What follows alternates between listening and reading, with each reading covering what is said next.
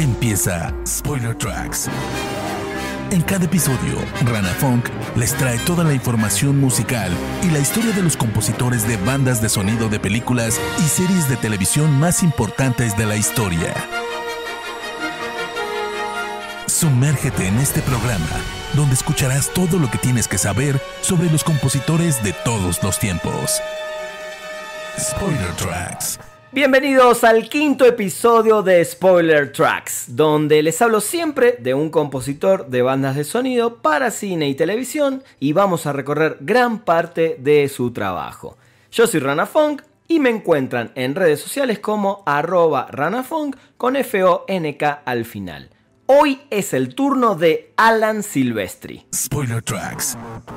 Con 70 años de edad, Alan Anthony Silvestri ya compuso la música de más de 100 películas, de las cuales seguramente en este recorrido que vamos a hacer hoy por su carrera van a reconocer muchas de ellas. El compositor no viene de familia de músicos, pero a la corta edad de 4 años empezó a interesarse por la batería y, así como yo, también como su servidor, y con dos palillos de comida japonesa empezó a pegarle a temprana edad a unos cuadernos simulando tocar una batería encima de las caricaturas animadas que veía en la televisión los sábados por la mañana, esos famosos Saturday Morning Cartoons. Luego ya en sus primeros años del colegio empezó a tocar la guitarra, el basún, el saxo y siguió tocando la batería, inclusive en algunas bandas locales, a pesar de que el sueño de su padre era que Alan Silvestri fuera beisbolista. En el verano de 1966, a sus 18 años, fue a la escuela de Berkeley en Boston a conocer sobre sus planes de estudio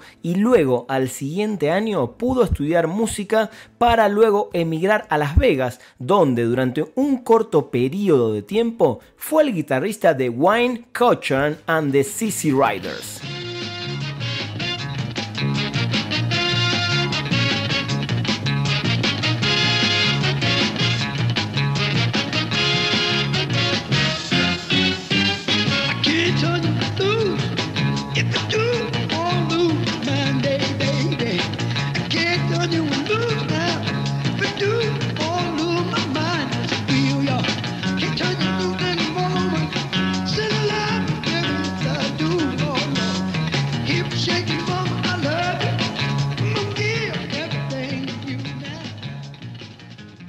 Silvestri no disfrutaba mucho esto de estar de gira con una banda eh, y se fue a Los Ángeles. En esa época el músico soñaba con ser guitarrista de jazz y nunca le había prestado atención a las bandas sonoras de películas. Eh, atención.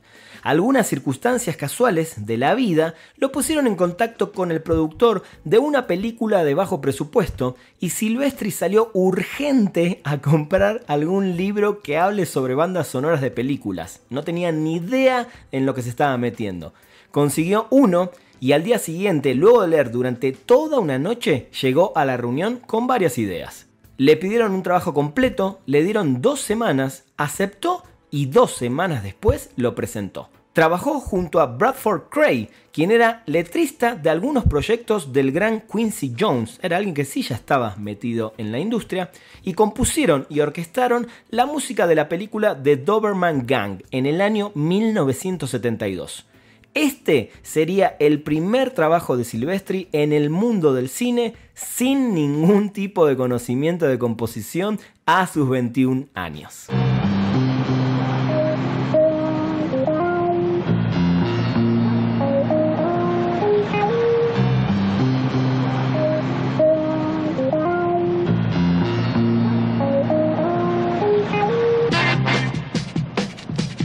Clyde.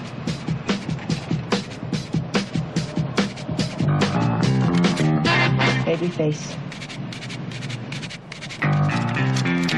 Pretty boy.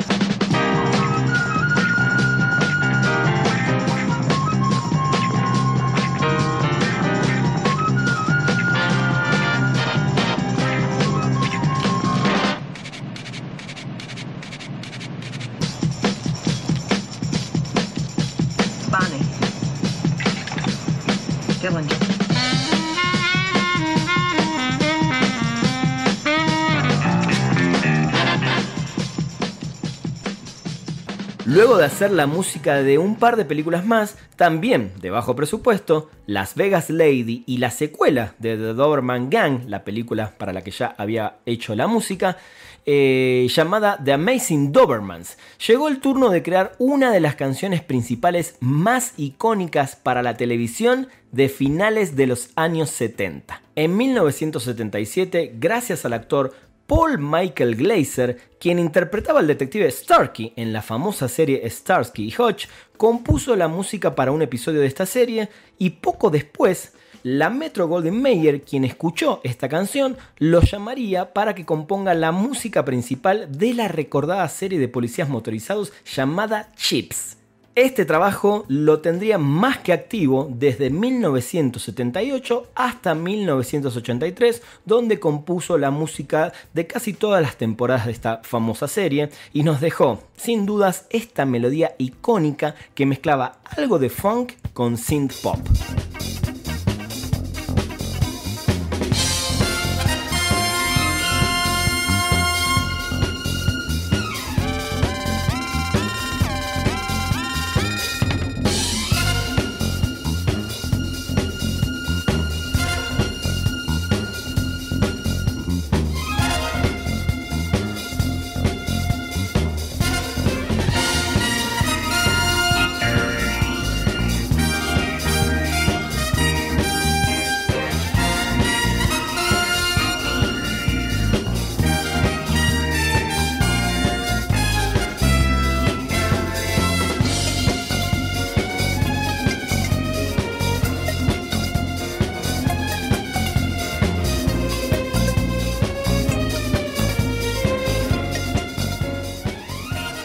Luego de varios años y de terminar su trabajo con la serie Chips, llega un llamado casi milagroso y fundamental en la carrera del compositor.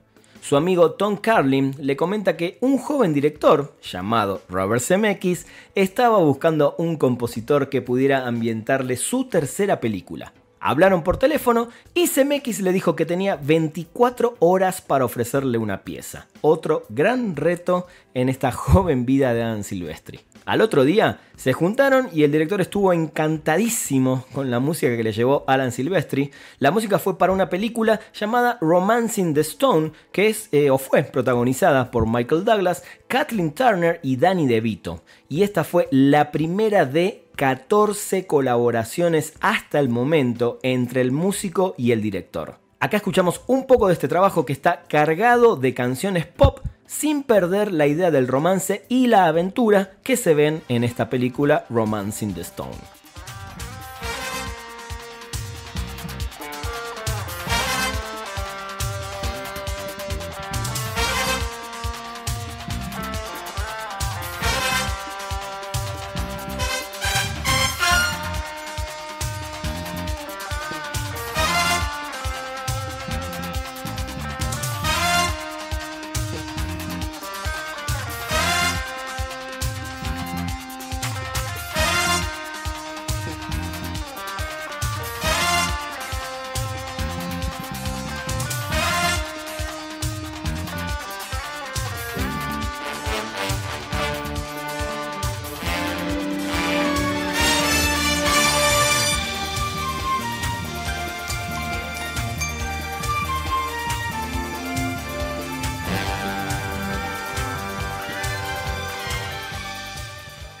Me voy a quedar un ratito hablando de las demás colaboraciones con CMX, porque son muchas y son muy importantes. Eh, y la próxima que les voy a contar sucede en el año 1985, que seguramente muchos van a conocer con solo escuchar esto.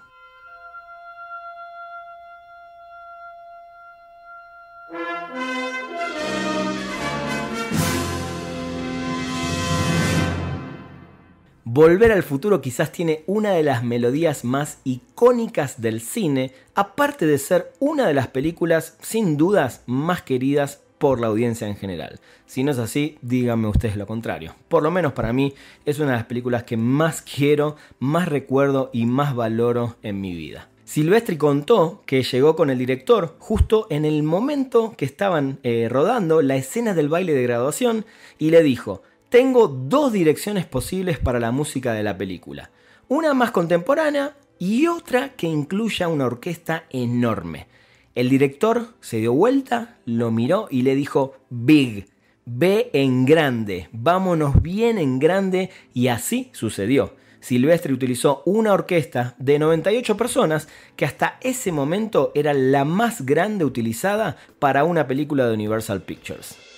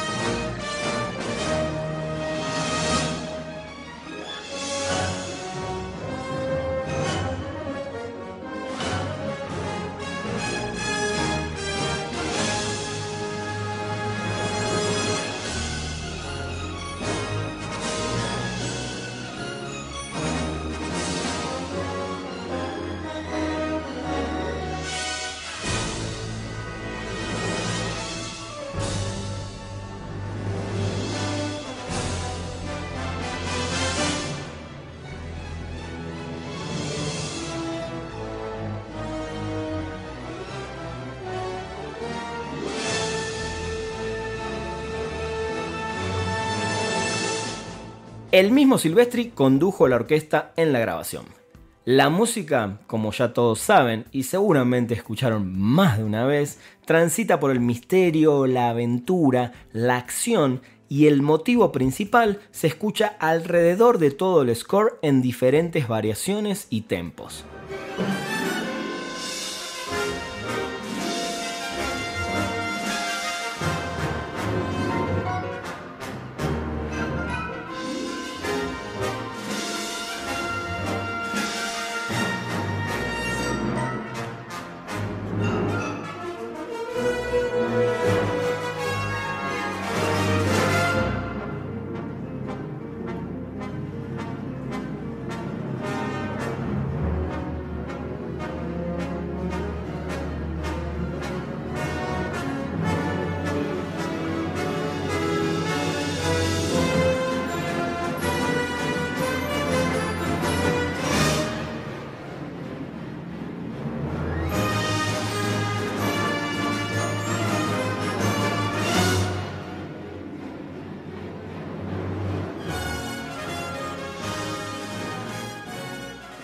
Cuando salió el disco de manera oficial a la venta, solo contenía dos canciones del score compuesto por Alan Silvestri y figuran en el disco como interpretadas por la Aura Time Orchestra. Y el resto del disco son canciones de Era James, Eric Clapton y por supuesto Hugh Lewis and the News que con su canción Power of Love fue nominado al premio de la Academia por mejor canción original y además se convirtió en el mayor éxito de su carrera. El álbum y la canción Back to the Future de Alan Silvestri fueron nominados al Grammy pero no ganó ninguno de los dos. Claro, Silvestri se hizo luego cargo de la parte 2 y 3 de la saga y me atrevo a decir que es quizás su mejor trabajo en toda su carrera. Información musical, bandas de sonido, películas y series de televisión. Spoiler Tracks. El siguiente trabajo en conjunto con CMX es otro de mis favoritos, Quien engañó a Roger Rabbit, donde durante toda la partitura podemos escuchar momentos 100% que nos llevan a la música de cartoon de los años eh, de finales de los años 70 en conjunto con una hermosa banda de jazz grabada por la Orquesta Sinfónica de Londres.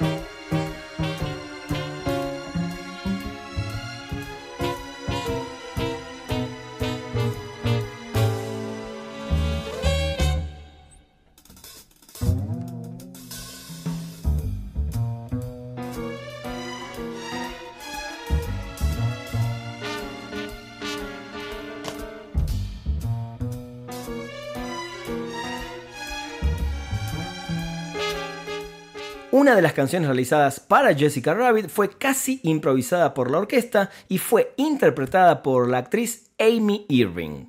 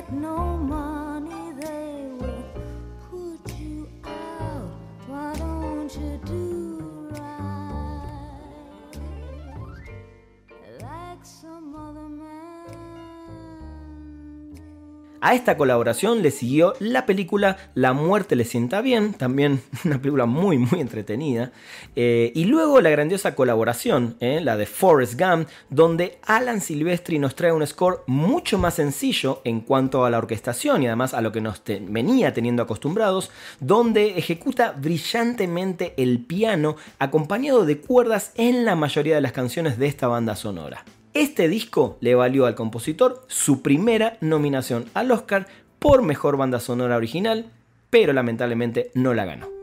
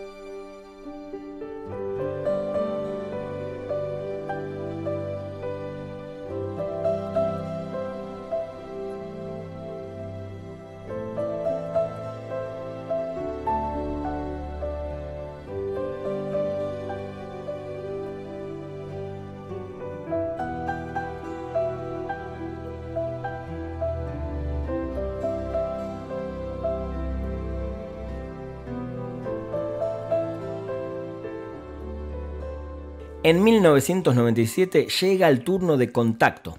En el año 2000 llega Revelaciones y también Náufrago. Sin duda, otro de los grandes éxitos para este dúo impresionante entre el director y compositor. Película que a mi parecer es grandiosa, una película que se sostiene impresionantemente durante casi las dos horas que dura, con una actuación de Tom Hanks impresionante y estos detalles musicales de Alan Silvestri. Son tan solo 15 minutos de música los que suenan en la película de la partitura original de Silvestri, ya que el director decidió darle más espacio al ambiente y a todo lo que iba viviendo Tom Hanks en solitario en la isla. Sin dudas, mi momento favorito en toda la película y en la música de Silvestri es cuando le pide perdón a su amigo Wilson. Ese balón de voleibol que lo acompañó casi hasta el final y lo pierde en una escena súper emotiva. Acá suena I'm sorry Wilson.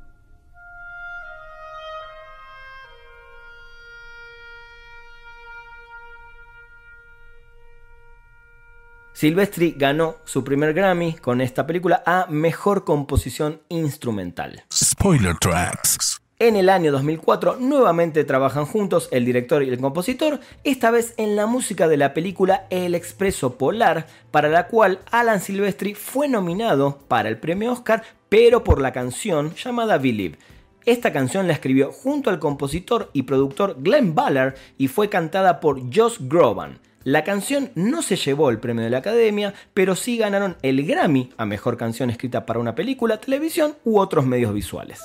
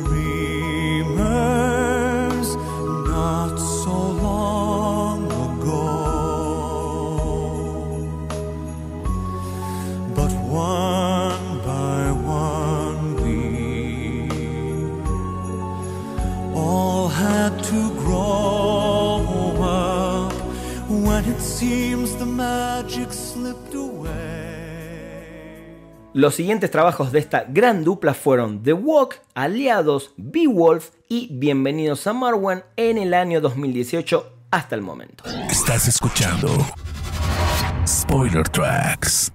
Ahora sí, me vuelvo un poco para atrás, eh, me voy hasta el año 1986. En ese año llega una de mis películas favoritas de acción de mi niñez, llamada Delta Force, eh, con el gran Chuck Norris y Lee Marvin. Sin dudas, los 80 fueron la época dorada de todo este género de acción y donde justamente salieron a la luz figuras que hoy son clásicas, no solo Chuck Norris, también se hizo más fuerte la figura de Sylvester Stallone, Arnold Schwarzenegger y por supuesto también estuvo el debut de Bruce Willis en eh, Duro de Matar, pero bueno, no me quiero ir de tema, eh, en este año llega Fuerza Delta, eh, esta, esta película genial donde el director Mehan Golan busca a Silvestri para la música. Aunque había compuesto un año atrás una partitura orquestal clásica para Back to the Future, en ese momento de su carrera Alan Silvestri todavía era mucho más conocido por el uso de sintetizadores y la escritura un poco más electrónica que por su destreza con grandes orquestas. Su filmografía de principios de la década de 1980 estaba dominada por títulos que eran de naturaleza mucho más electrónica, y Delta Force va directamente dentro de esa misma categoría. Aparte de algunas percusiones, toda la partitura es realizada en un sintetizador. Si bien por momentos puede sonar bastante pop y suave, entre comillas, para la acción que transmiten las escenas de la película, Silvestri logra momentos heroicos y acordes a la época en este score.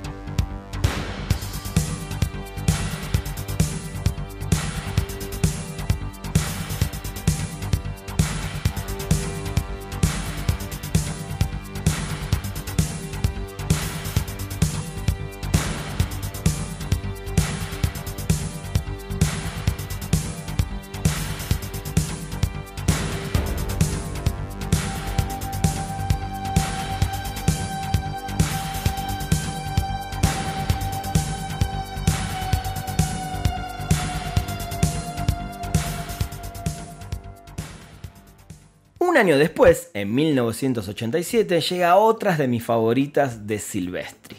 Predator o Depredador, en la que me voy a enfocar un rato porque realmente es una verdadera joya. Además de ser una de mis películas favoritas, como les dije, no solo del género, sino de esta época, Silvestri hace un trabajo espectacular con un score que quedó en la posteridad.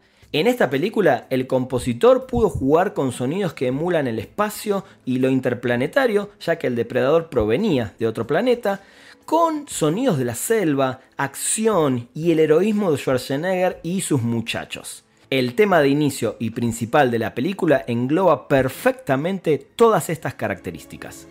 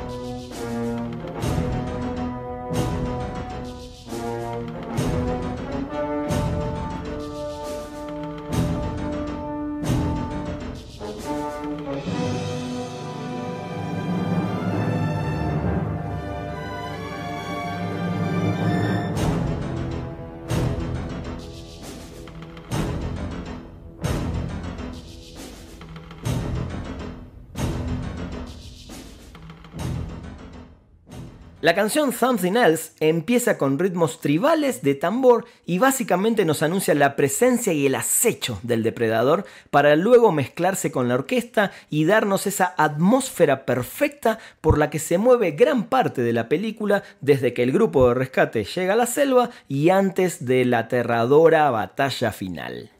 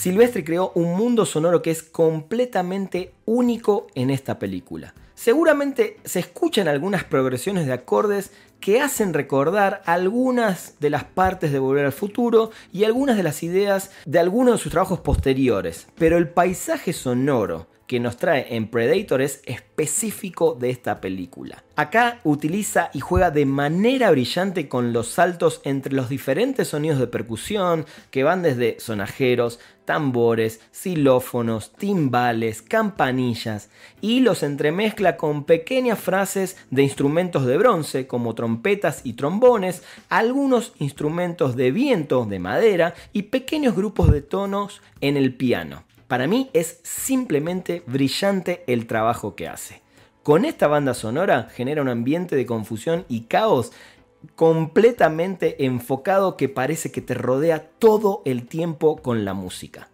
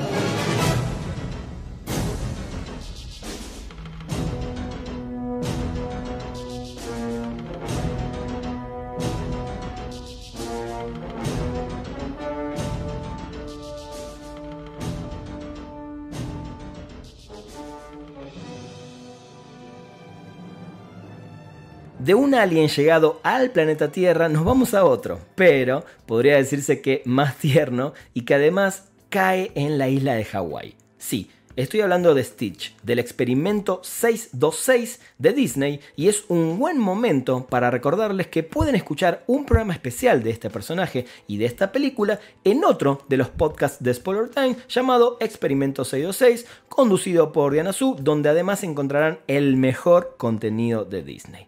Pero hablemos del score de Lilo y Stitch. Si bien muchos recuerdan, el soundtrack está conformado por algunas canciones de Elvis Presley, pero Alan Silvestri se encargó de darle vida a la atmósfera y música de esta entrañable película. Y para ello, nuevamente nos trae una composición grabada con una orquesta de más de 80 piezas, donde nos lleva nuevamente por sonidos espaciales y de aventuras.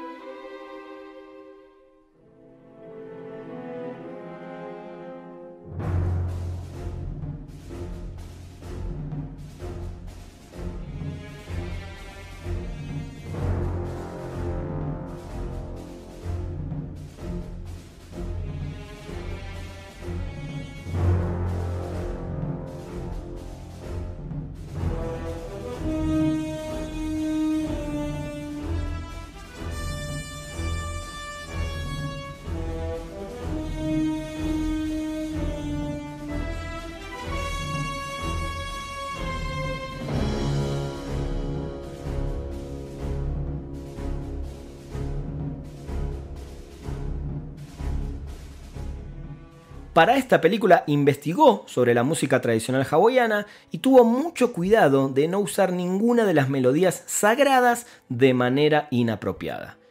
El disco incluye además dos canciones originales de la película escritas por Mark Kelly Hijo Amalu y Alan Silvestri, ¿eh? creo que lo dije bien. Y son interpretadas por Kiali of Amalu y el coro de niños de las escuelas Kamehameha, y aquí les dejo una de ellas, Gemele no Lilo.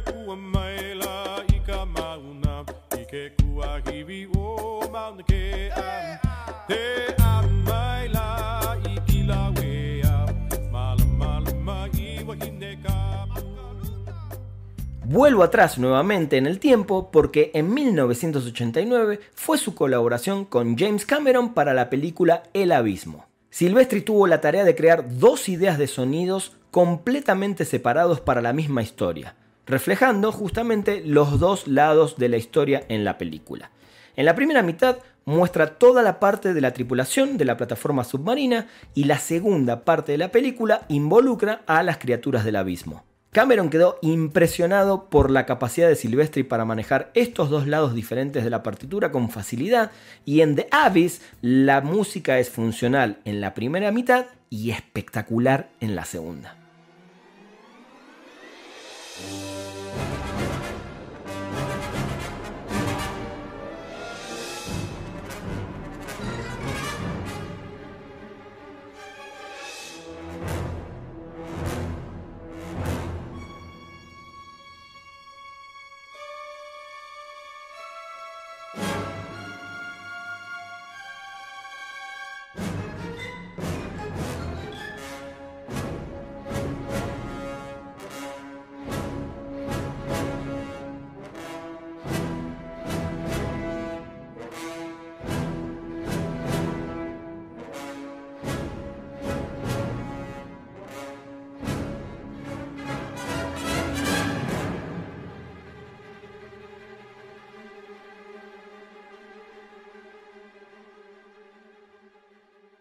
Y acá también les dejo un ratito del final a pura orquesta.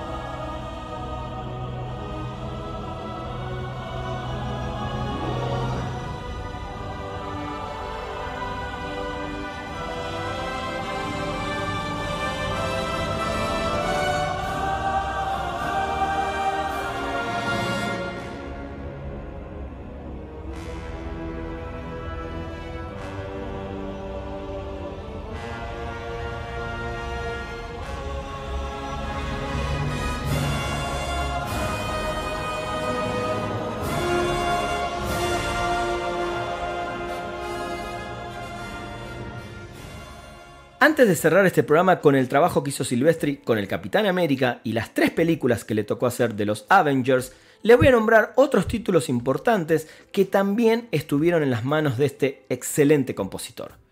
The Bodyguard, Volcano, Stuart Little, What Women Want, Van Helsing, Night at the Museum, G.I. Joe, The A-Team y Ready Player One, entre otras. Spoiler Tracks. Silvestri se metió en el mundo de Marvel en el año 2011 con la primera película del Capitán América, que fue Captain America The First Avenger.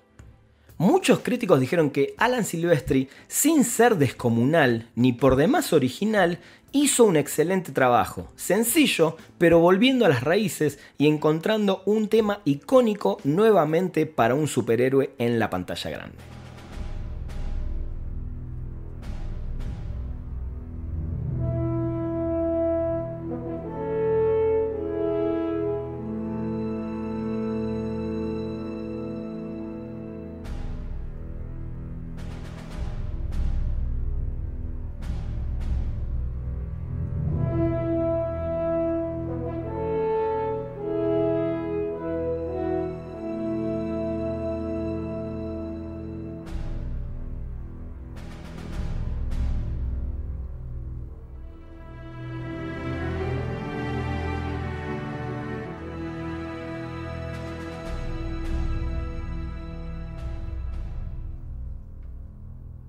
Ese mismo año confirman a Alan Silvestri para que realice la música de la primera película de los Avengers. Y por primera vez un mismo compositor se encargaba de manera consecutiva en realizar la composición de dos películas de Marvel seguidas y sin dudas que hizo un trabajo excelente.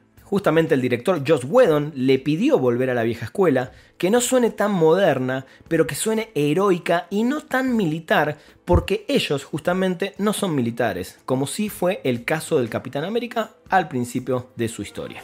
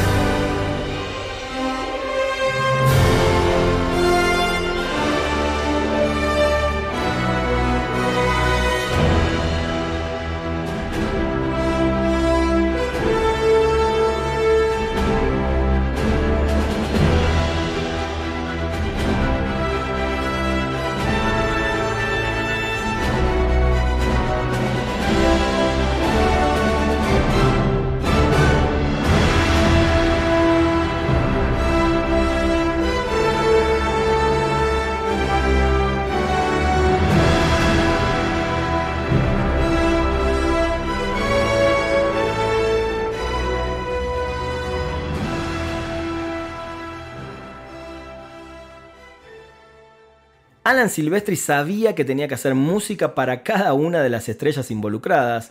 Cada uno de esos personajes pesan por sí mismo en la película y todos tienen su espacio y su momento. Así que fue todo un desafío para el compositor que grabó con la Orquesta Sinfónica de Londres en Abbey Road Studios, obviamente en Londres, Inglaterra. Al componer para una película con un elenco tan grande, Silvestri dijo lo siguiente. He trabajado en películas donde ha habido varias estrellas y ciertamente trabajé en películas donde ha habido personajes de igual peso en términos de su nivel de importancia y perfil en la película. Pero esto es algo extremo en ese sentido porque cada uno de estos personajes tiene su propio mundo. La película trata realmente sobre la unión de estos personajes, lo que implica que existe una entidad llamada los Vengadores que realmente tiene que ser representativo de todos ellos juntos.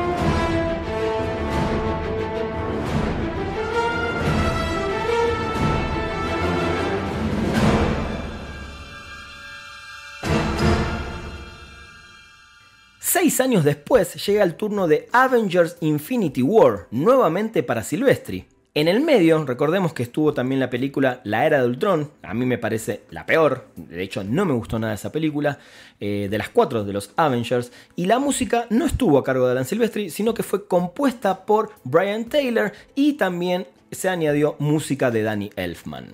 Para esta película, la de Avengers Infinity War, cuando vuelve Silvestri, podemos escuchar toda la musicalización en los momentos de Thanos, donde vamos a obtener esta parte oscura y quizás hasta más melancólica del score de Silvestri.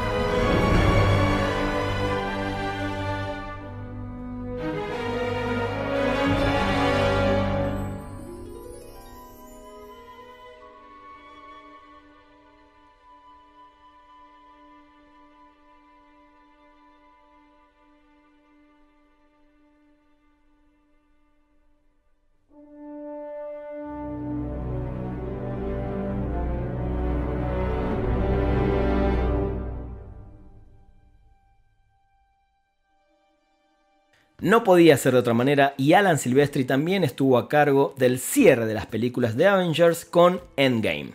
Grabada con una orquesta de 95 músicos, nuevamente utilizó a la Orquesta Sinfónica de Londres y el cierre es espectacular y sobresalen algunos momentos épicos como la canción You Shouldn't Be Here.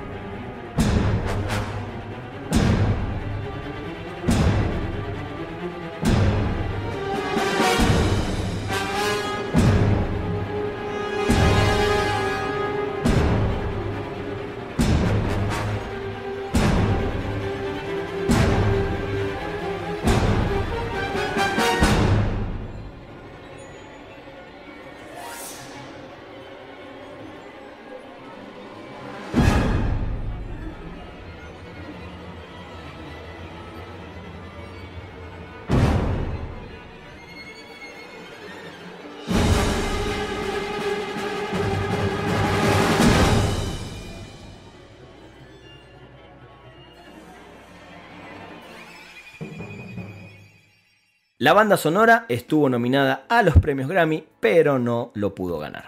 Estás escuchando Spoiler Tracks. Bueno, espero que hayan disfrutado de este nuevo episodio de Spoiler Tracks. Realmente eh, Alan Silvestri es otro de los grandes genios musicales de nuestros tiempos y en el fondo siento que aún no tuvo el gran reconocimiento que se merece, sobre todo en las grandes premiaciones y quizás también del lado del público.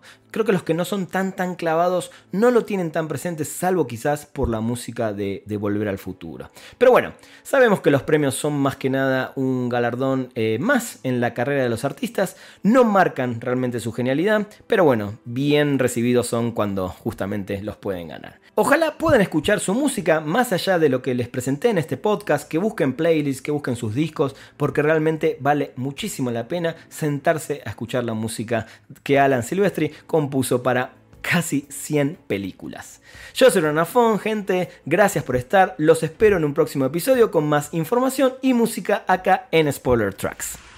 Esto fue Spoiler Tracks.